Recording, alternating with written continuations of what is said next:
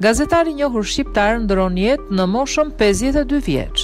Ka humbur jetën sot në moshën 52 vjeç gazetari i njohur Kastriot Shehdadi. Shehdadi për shumë vite ka punuar si gazetar në disa media nga Kosova dhe Shqipëria. Shehdadi është dalluar për profesionalizmin dhe kontribut të pakursyer në Përmirësimin e jetës së bashkëqytetarëve dhe shoqërinë tonë në përgjithësi. Ai për gati njëzet vjet ishte i angazhuar si zyrtar për informim në Komunën e Gjakovës. Varrimi i të ndjerit bëhet nesër, ditë e mërkurë në varrezat e qytetit në Gjakovë.